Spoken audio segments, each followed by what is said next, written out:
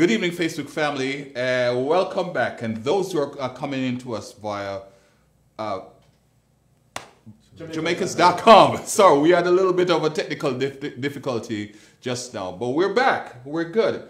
We're having, we are having an exciting program this evening for you. Um, of, of all the persons we could have this evening, we have none other than our own Jamaican, our mayor of Broward County, County no one else but our mayor, Dale VC Holness. Okay. And so we'll be talking to him, we'll be getting to know a little bit about him and just, just casual talk. Uh, but before that, we just want to do some basic housekeeping. As you know, when you call in, please tell us where you're calling from. Just give us a reason why you're grateful today. I know things are bad, I know things are tough, but there's always a reason to be grateful. So just call in, let us know where you're coming from or where, you, where you're not calling, but you're viewing from. And as I said, just let me know what are you grateful about. I'm grateful today because honestly, I, in through all of this pandemic and COVID-19, whatever the labeling, I found one thing that was amazing. There are people who spend a lot of time, even in hardship, to give back to their community.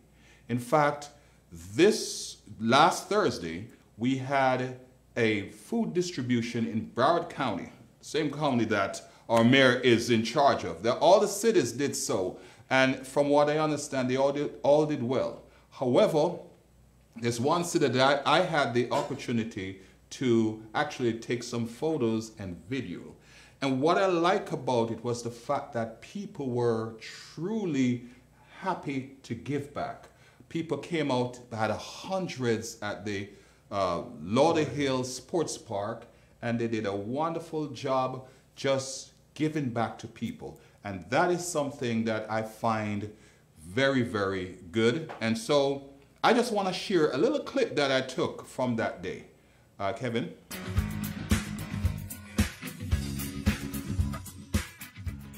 I came in like 12 o'clock in the morning because I came from work and I just come in and just pass by. I, I said 12 a.m. this morning.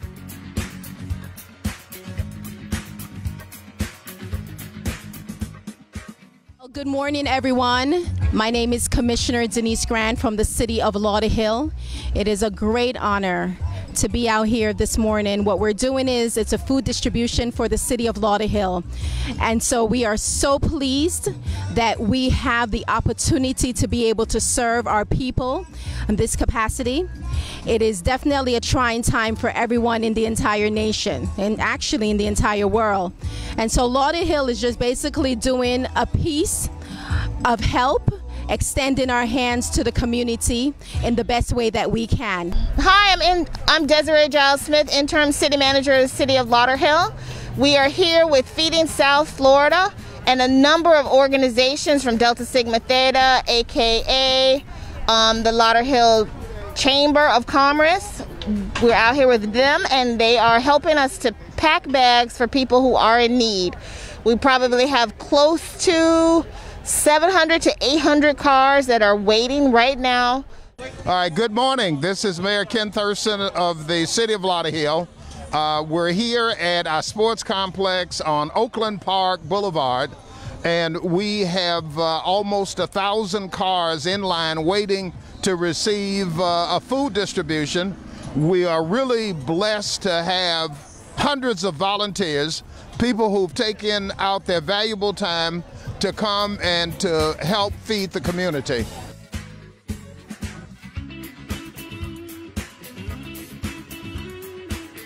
Okay, Constance Stanley.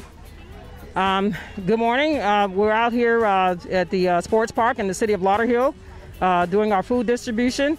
I'm the chief of police of the uh, Lauderhill Police Department, and I want to uh, thank our commissioner, Commissioner Deese Grant, uh, for putting this together, along with our other uh, mayor and our other city officials uh, for doing this. Again, we understand the need uh, that's out there.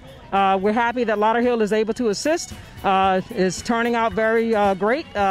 Fact, I kind of rode down to see all the the vehicles that were in line, and people are very patiently waiting. Good morning. I'm Commissioner Margaret Bates. I'm out here just trying to, number one, to keep safe and um, trying to help the community. Uh, a lot of folk are in need, and we're whatever we can do, whatever tiny bit we can do to help support the residents not only of the city of Lauderhill, but of Broward County. We're going to do our small part. So together we can beat this. Well, good morning. Uh, welcome to uh, the sports park here in Lauderhill. We're doing Feeding America today. My name is Mark Saletti. I'm the fire chief, and I'm also the emergency management coordinator for the city manager. Just uh, want to thank everybody for being out here today, and uh, we're, we're here to make sure we're safe and uh, always uh, making sure that people are doing the proper PPE and making sure you're wearing your mask and make sure you social distance stay safe, and uh, Lauderhill Fire Department uh, is proud to be here. Thanks.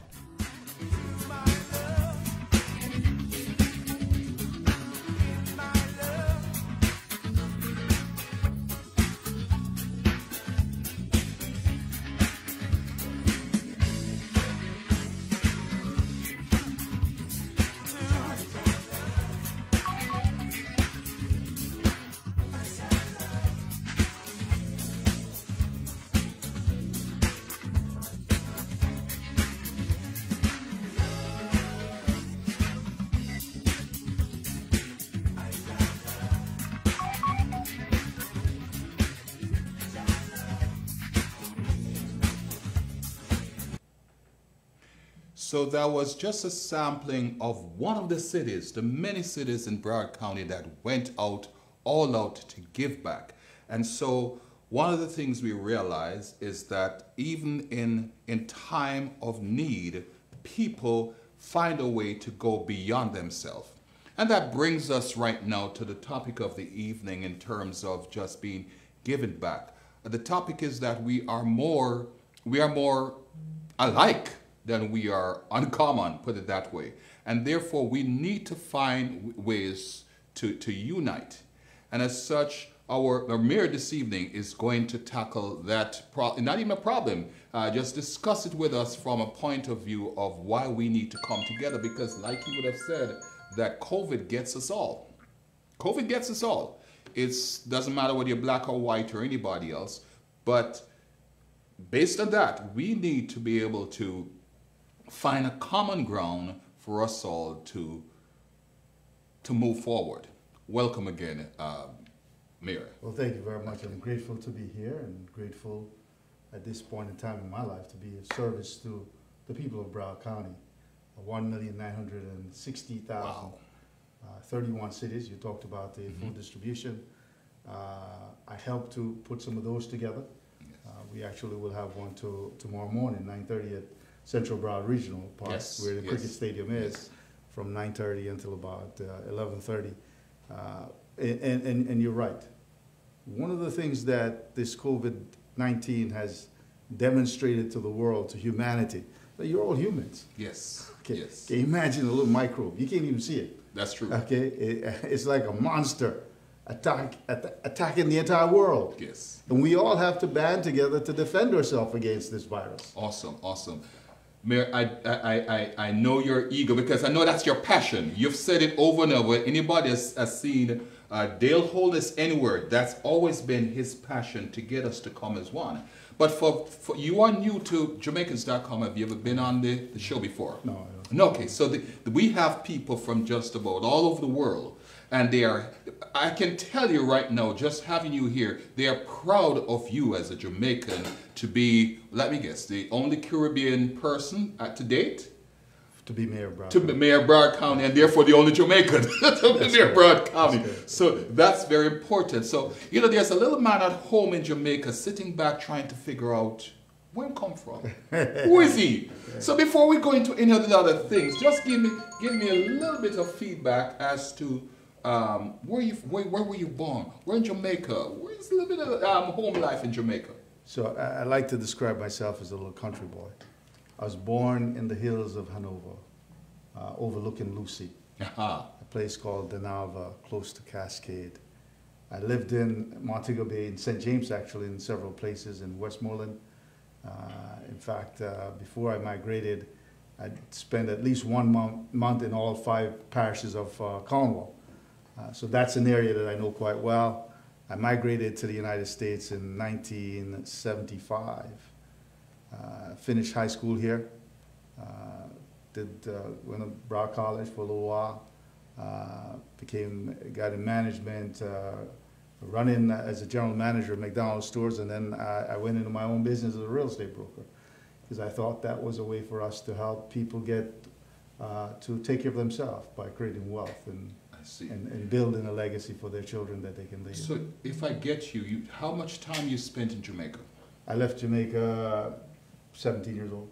You're 17 years old. So talk to some of those folks. What was life like at 17 in Jamaica? Oh. some of your memories. So I, I got to tell you, the one that probably led me into politics is I met uh, Mark, Michael Manley in 1973 in a little place called Haddle in Westmoreland. Yes. Uh, 1972, actually. Uh, before that election and uh, 72 election, and I thought, wow, what an inspiring person. He, he just talks so much about people and how he wanted to transform Jamaica to benefit all the people of Jamaica.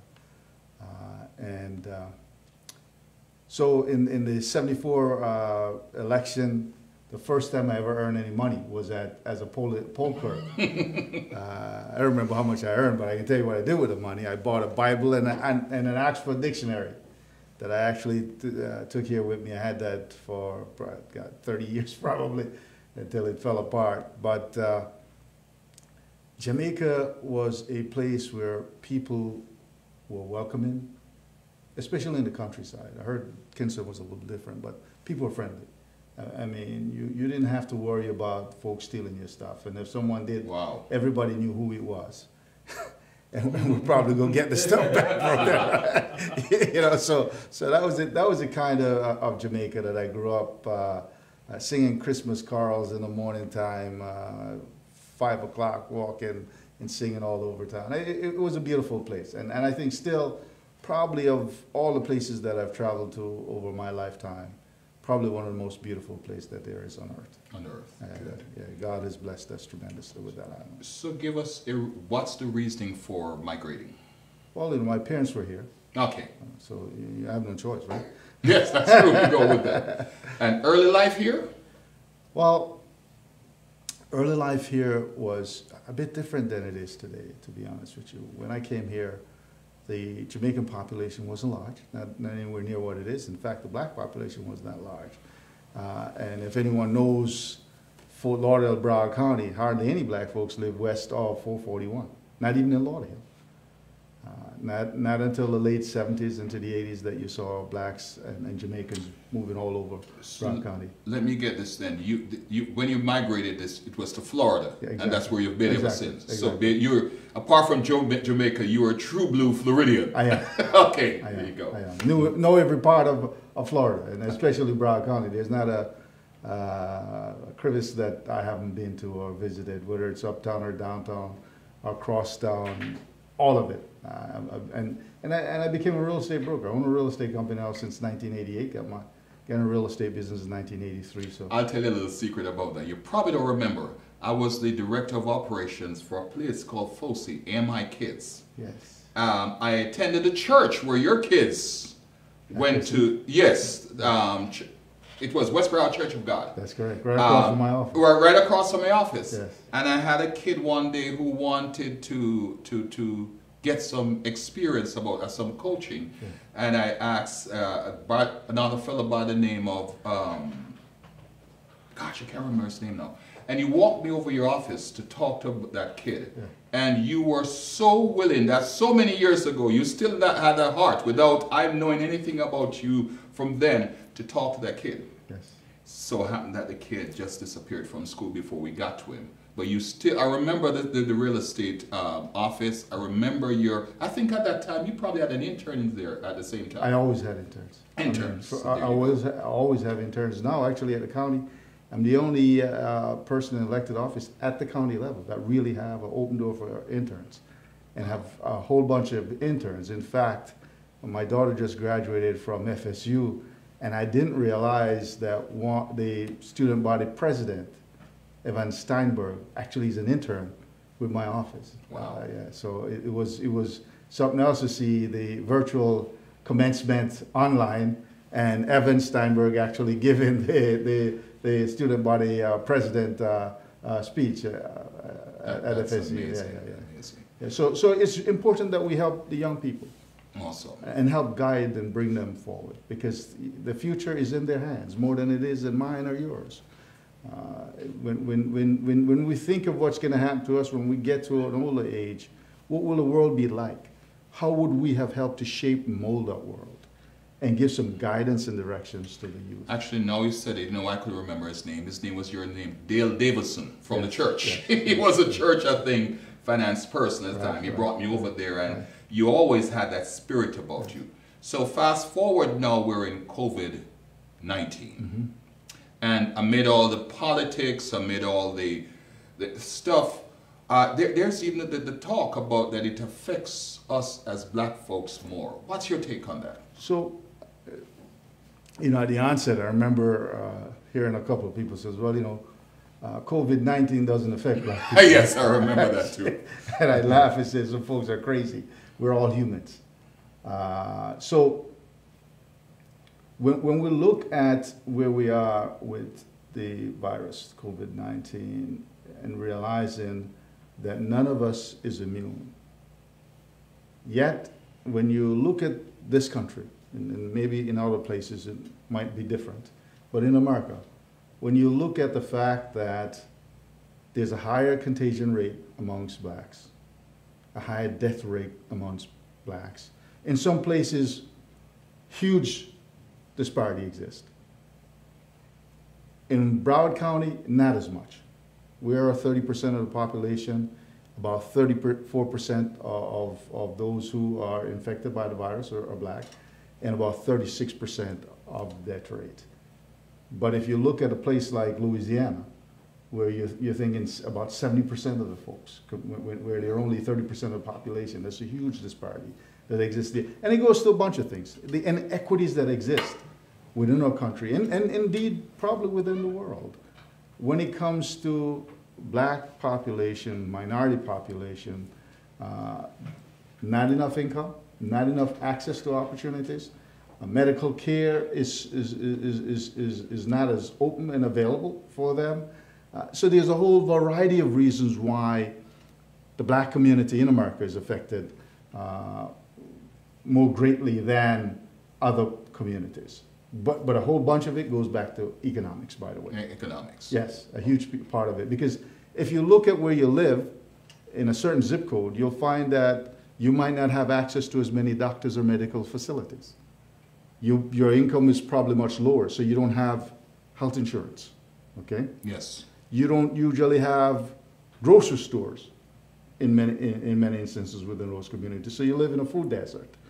So there's a whole history of things that adds up to where you are now in a situation where it's open, everybody sees it, and hopefully we'll address it going forward. And that's a part of what I've worked on as an elected officials to ensure that we're bringing resources to underserved communities, bringing opportunities to women-owned, minority-owned uh, businesses, small businesses, uh, because I know they more directly impact those communities that have been left behind, because many of those owners are from within those communities.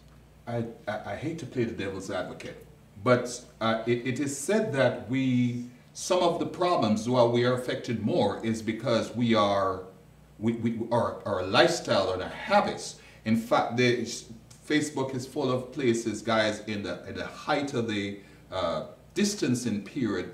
There's one city that had a house party. I don't know if anybody saw that, where there was a house party and the, the, the street was pretty much blocked off by people, black folks, drinking without masks and carrying on about that. And they, uh, of course, there's a certain media uh, who would know Play what suggest. So, so, that so, out. so, so, so, so, so listen.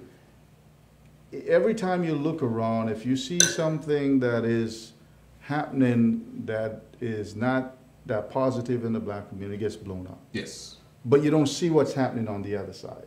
Okay? Uh, so often, and, and, and let me give you a demonstration of something. Look at the people on the street protesting without masks, without social distancing. Are we saying, oh, these all these white folks are out doing this stuff and it's so bad? And it's, yes. you know, we're not. Okay, they they're exercising their right.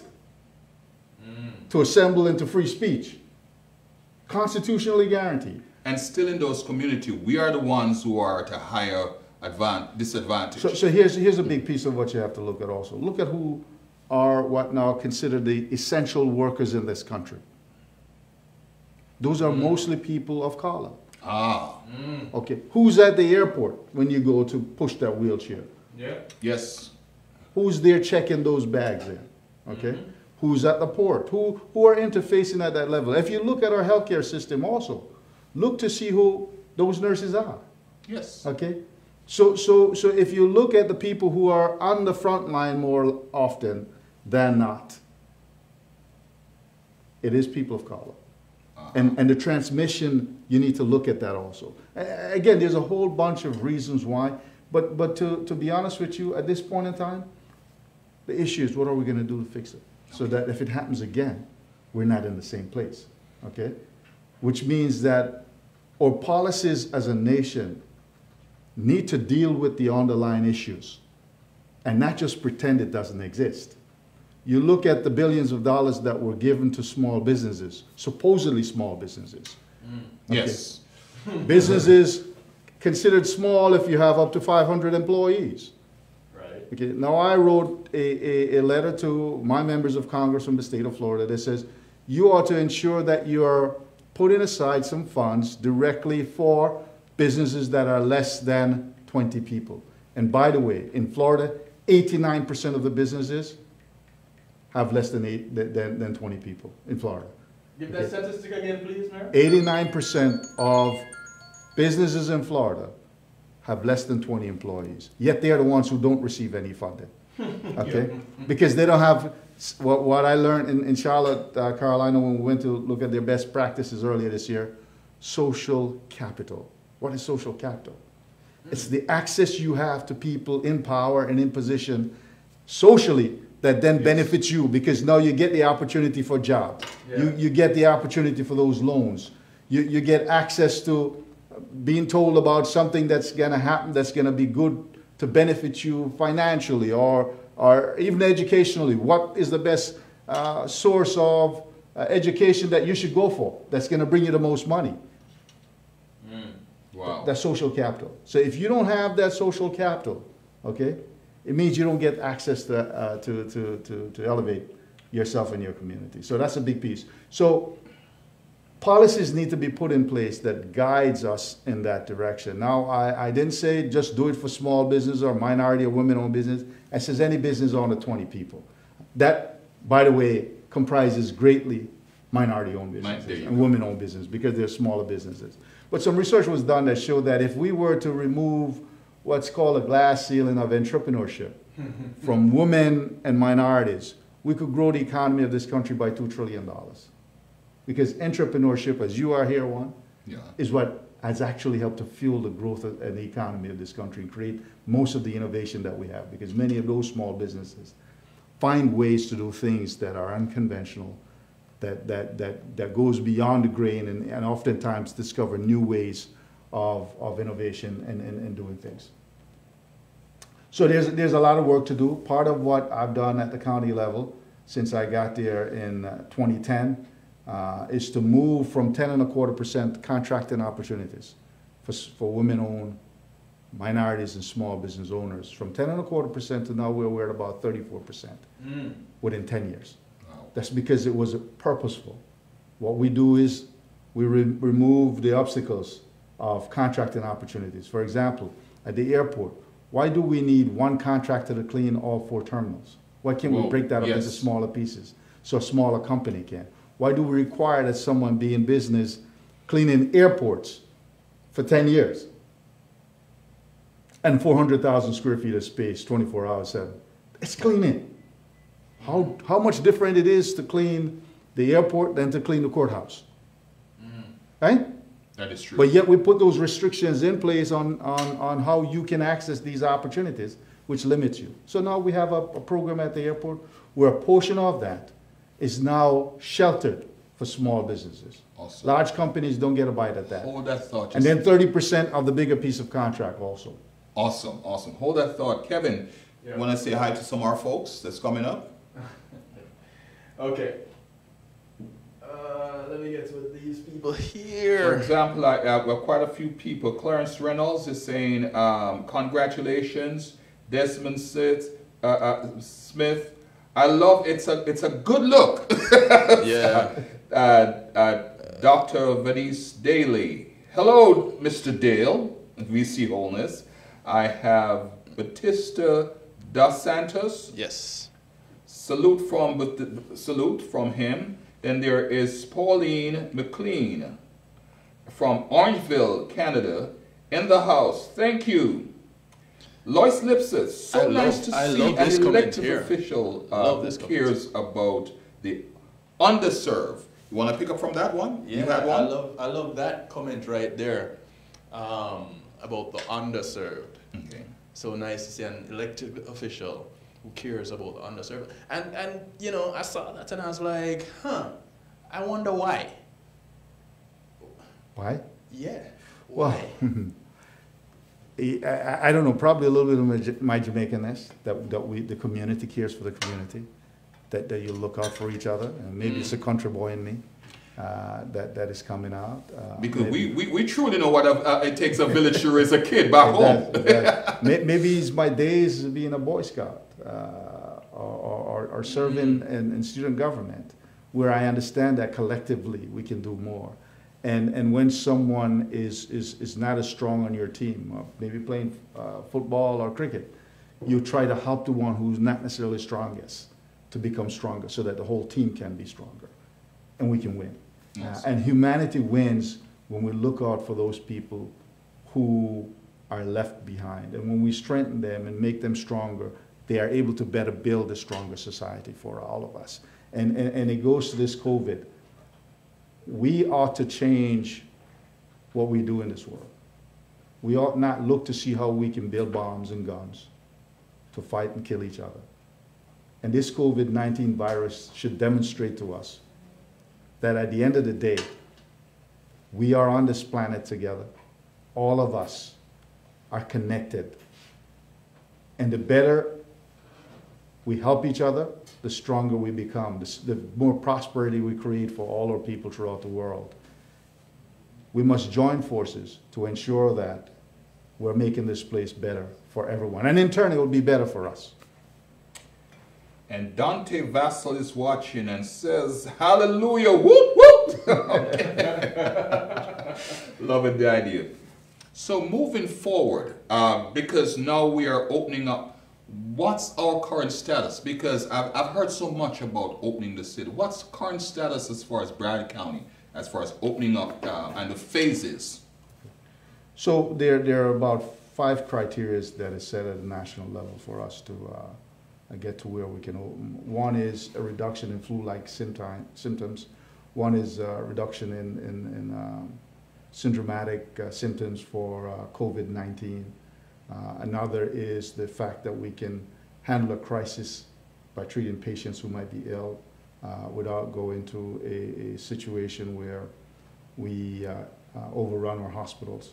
The other is on a reduction in test, positive test, uh, either as a percentage of tests being taken or as an overall percentage, so long as you're maintaining the same, same level of testing that you have. And the other one is to have robust testing available for uh, medical personnel, first responder, and everyone.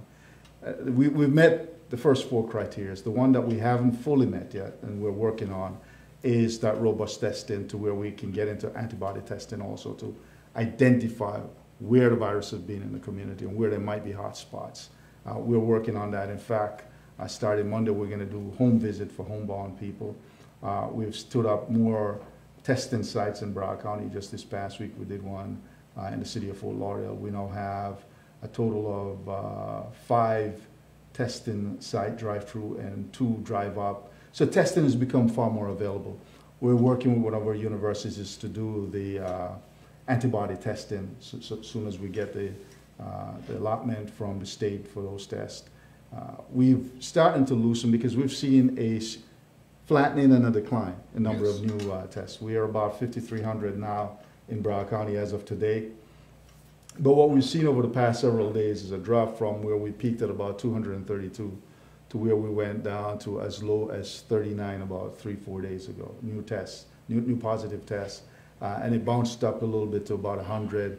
So it's, it's, it's, it's, it's doing a little bit of that, but we're way down compared to where we were before. With that in mind, we, and, and people are practicing the social distances Yes. Uh, and, and the protocols that would help reduce the spread of the virus.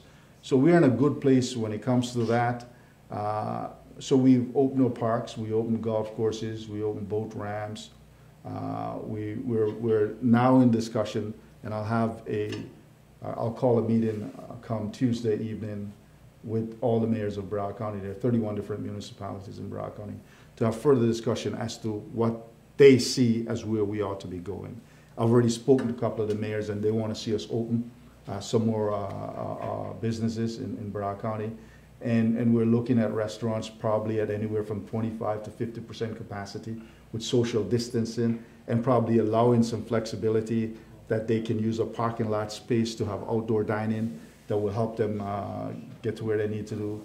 Uh, or barbershops, beauty salons, a lot of, uh, of uh, ladies are telling me that it's, it's now a, a, a, an essential service. it's, now, it's now an essential service. And if you can see my afro uh, that I pat down a little bit, uh, I haven't been in a barber in a long time since we shut down either. So there, there are a lot of us who, who need that service. But, but overall, if we continue to see the decline that we've seen, if people continue to behave the way they have, And with so- ensuring that we are not spreading the virus, then we can open up a little bit more. And so that brings me to the next thing because there's a there's a little bit of there's a word that so we need to be cautious. We need to be extremely cautious because uh, as soon as the summer is uh, um, gone, there is a tendency for a spike. So the question is, what are we doing as a, as, as, as a county to to make sure that once we're opening up, we open up with a sense of caution Yeah, so, so we, we're, the whole thing to is. prevent that The whole, spike. the whole thing for us to open is to phase it in and not to just go open,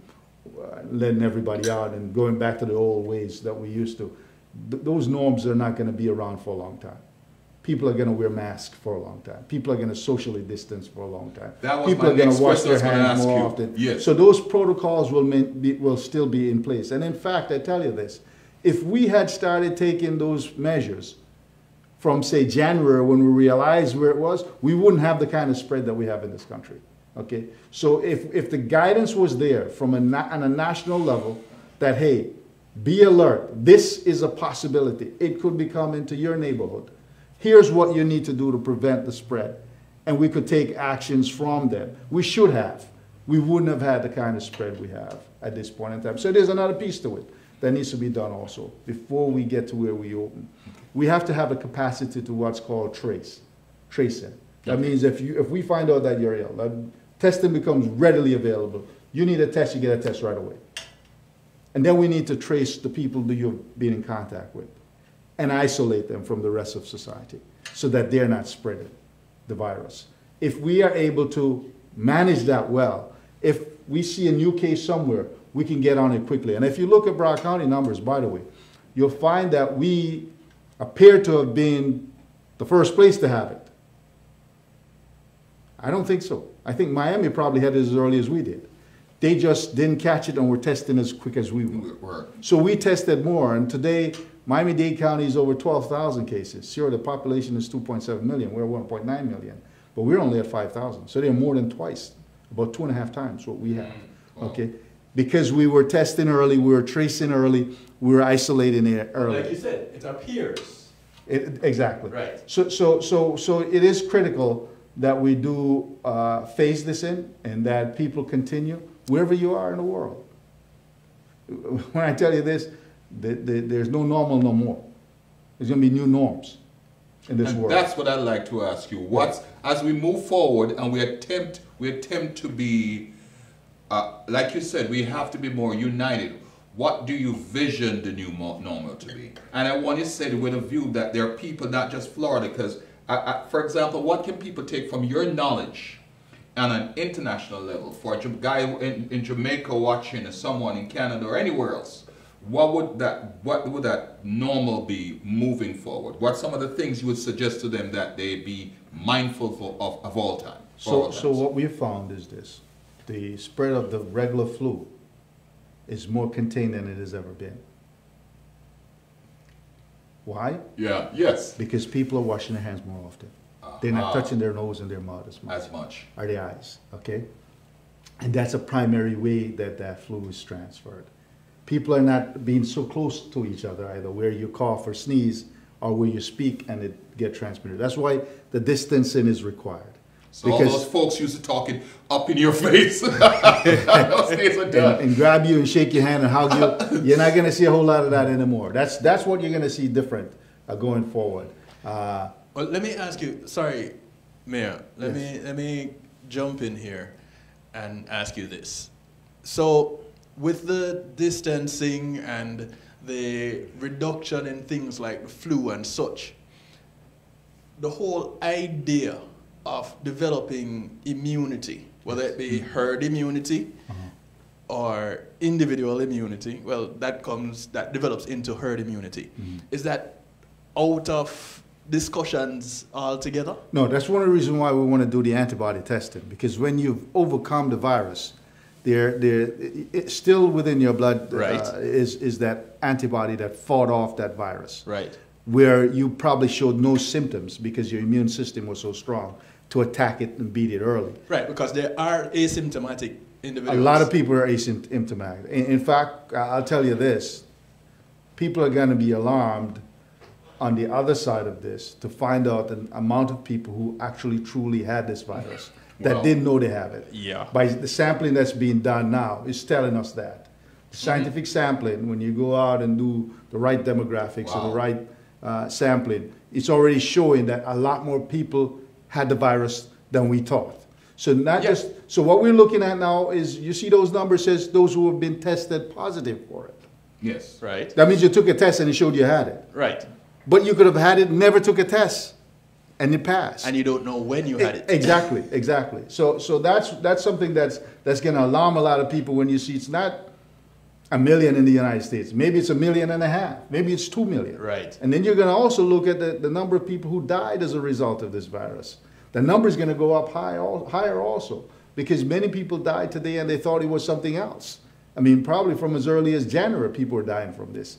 And nobody was really paying attention that, hey, it could be this because we never thought it was here yet Right. okay, and, and, and probably in other parts of the world similarly.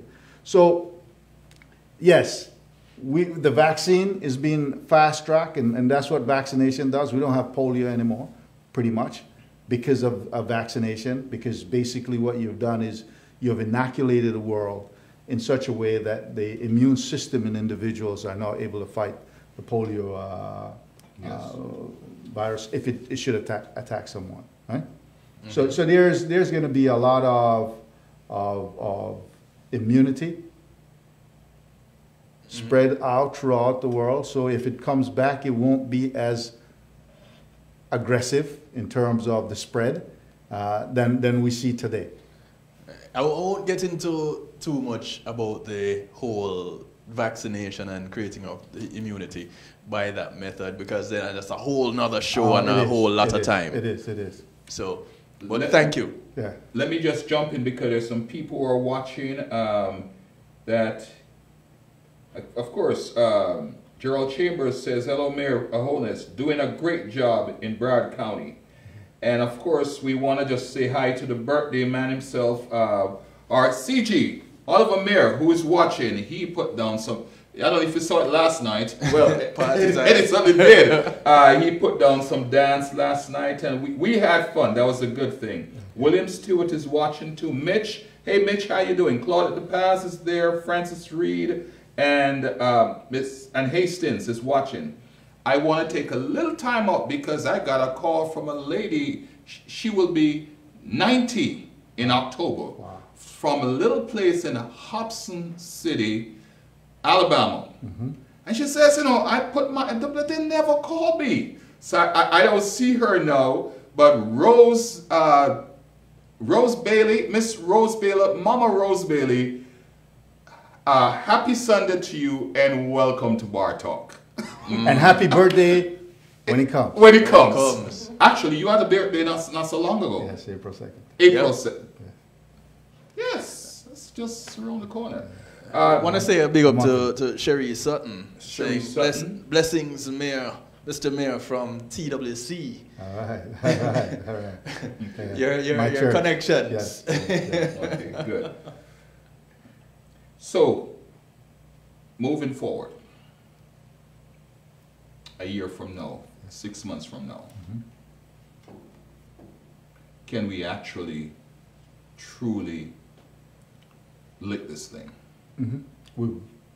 We will. Yeah, I'm, I'm very positive that we will. Um, Uh, this is, this is not the first pandemic that we've faced down and, and, and beaten. I think humanity will rise to the challenge, uh, and, and we will beat this virus. Uh, not to tell you that we won't see any of it ever again, but I believe that the kind of chaos that uh, this coronavirus, COVID-19 has caused, uh, within a year from now, you won't ever think that we were as bad as it is today. It is, Yeah. good. Uh, partly in, be- because of uh, the science as we go forward that we're learning how to deal with this issue. Uh, antiviral uh, concoctions that will be made available to people to deal with that. You, you remember AIDS? I mean, that was a death threat to people. People are living full lives uh, because science, uh, the, the blessing of God to uh, allow us to, to find those cures uh, or those treatments uh, was made available. Uh, the fact that this is one that you can build some immunity to, that seems to be there. Uh, not clear exactly how strong that is, but, but I believe there's some of it. The science shows that. Uh, the fact that we will probably end up uh, finding a vaccine uh, to, to be able, I know a lot of people don't think vaccine is a good thing, but it works for polio. Yes. It works for, for, for a whole bunch of different items. And, A lot yeah, of us got it some- back home when we were growing up. There's some challenges to it, and, and people are uncomfortable with it, but at the end of the day, if you look at the science, Vaccines that work are an excellent thing. yeah, yeah, they, they, they have. So, so, so we'll go through some experimentation and, and. And we'll move over, Over time, we'll move forward. Uh, the world is likely to be different a year from now. A year from now. We're gonna find a lot more people working from home. Yes. You're gonna see a lot more Mm. teleconferences rather than people conferencing uh, in the same place. You're segue to, segueing into something that I every week I do something or say a shout out to a certain set of people, uh, and you mentioned working from home, and I just want to interject because we have made our our, our shout out to the nurses, we've made our shout out to the people in the, the uh, frontline folks, Uh, they, and so today I'm just going to put up this book here. And I'm just gonna put. The, I don't know why I have these apples. For It's the normal- teachers? For, teachers. And Ah, I just want, yes. once you mentioned the book, I don't necessarily want to show the author, but it says, Your Best Life Now. And to be quite honest with, with you, I had, thank you, Loretta Dees, for giving me an opportunity to sit beside her as she went through one of her Zoom classes. Now, let me tell you something. If you think a, a, a troublemaker at school is gone, no, he's a troublemaker Online. online.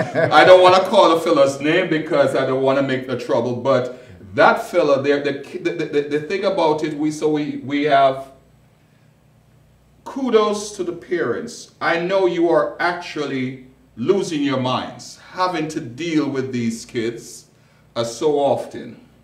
Kids, for those who are hanging in there, kudos to you for staying online, for doing your work when you don't have to do it. And definitely for the teacher like the teachers like uh, Loretta Dees. I thank you so much. I sat there and I watched some of the kids. Some of the kids don't want to show their face. Some of them left the thing on and but then there are kids who want to work.